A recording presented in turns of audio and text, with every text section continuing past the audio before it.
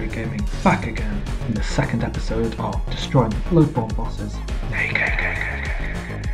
In the first episode we took on the Cleric Beast and destroyed him. Now it's on to the first real difficult boss, Father Gascoigne, the Bloody Priest.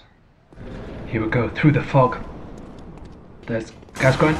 Oh fuck! I got fucked up straight away. I'm gonna try and visceral him in the face. So I've got my pistol out. Ah.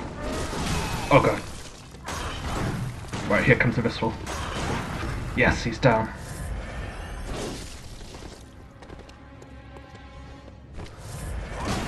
Yes, he's down. Get some sweet damage in when I do that. 1,458 damage from one attack. Glorious. Another visceral, come on. Ah, just missed.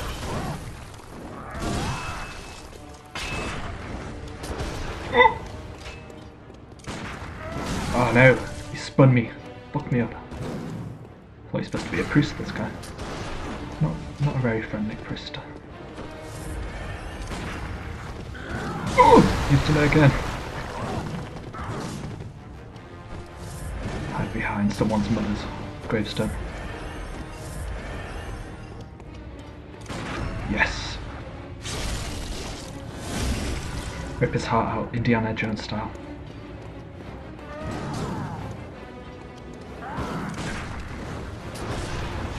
Ooh. I've got the same weapons as him. A bit like the Matrix this. Neo against Agent Smith.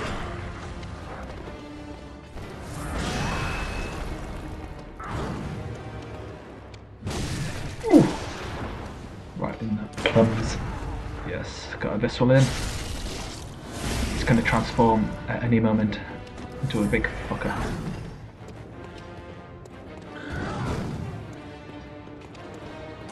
Yes. Kapow! He's probably going to transform here. Here we go. Oh god, forgot about that. Now this guy goes proper crackers. Oh god. I'm just gonna dodge him. Gonna dodge like crazy here.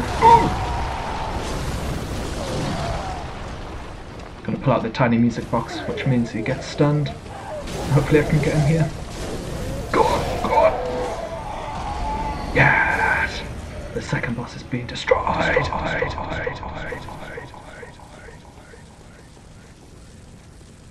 Light the lamp. And have a little prayer. Right, thank you for watching.